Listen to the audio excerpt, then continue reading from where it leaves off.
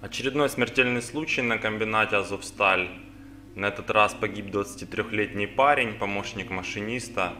Его придавило вагоном. Это далеко не первый смертельный случай за последний год.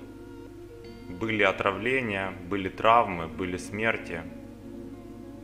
Лично для меня наиболее вопиющий случай – это история Юлии Диковой, которая в августе 2017 года в буквальном смысле сварилась в бойлерной, и никто не понес за эту ужасную смерть никакого наказания. Руководство комбинатов тоже обвинило, как и всегда, погибшую в нарушении техники безопасности. Но мы-то понимаем, что все было на самом деле не так. Вообще для руководства комбинатов отговорка это о том, что погибшие не выполняли технику безопасности, является дежурной отговоркой. Они никак не хотят признавать то, что комбинаты нуждаются в модернизации, и эту модернизацию никто на самом деле не делает. Именно поэтому старое оборудование, которое имеет срок эксплуатации, выходя из этого срока, амортизируясь, просто становится опасным для жизни. Чтобы убедиться в этом, достаточно посмотреть вот эти видео. Мы видим, что тотальный износ основных фондов и отсутствие модернизации в принципе делает пребывание в цеху небезопасным. Вы можете досконально изучить правила и соблюдать их от А до Я, но это вообще не поможет вам, когда вы будете лететь с 10-метровой высоты, к примеру, или когда на вас упадет плита или кран. Вряд ли вас спасет каска или очки. Вы можете ответственно подходить к ношению респиратора, но и это не поможет вам в случае утечки доменного газа, что случается на предприятиях Ахметова довольно часто. Вот такие случаи, как на этих видео, на комбинатах происходят э, постоянно и повсеместно. При этом у Ахметова всегда находится армия защитников. И кто, вы думаете, наиболее рьяно защищает Ахметова? Юриста СКМ, топ-менеджмент Метинвеста. Вы удивитесь, но это даже не Ахметовский мэр Вадим Бойченко. Наиболее рьяно защищают Ахметова те самые металлурги, которыми суждено десятками в год умирать на предприятиях.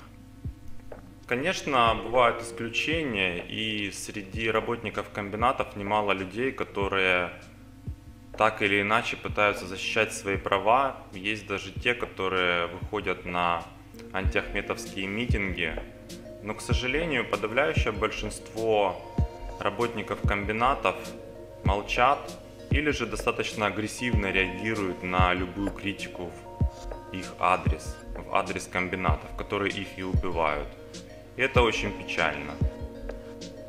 Наиболее цинично выглядят комментарии и мнения металлургов о своих же погибших братьях и сестрах, когда они пишут, что ну вот, мол, он не выполнял технику безопасности, за что я поплатился.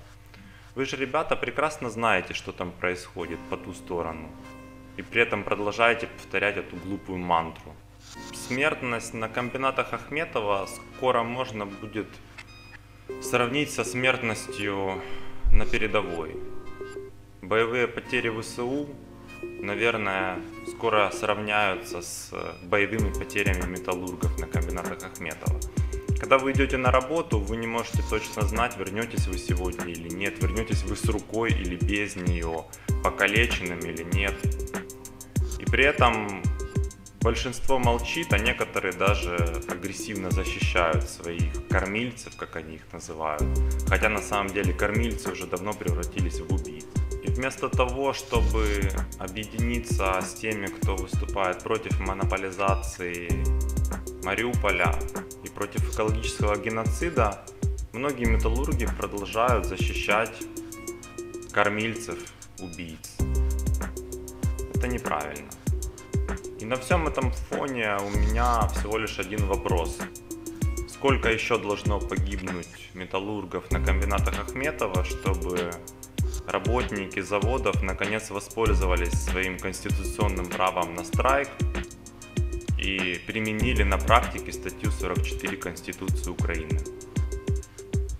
Для меня и для всех моих соратников этот вопрос остается все еще открытым.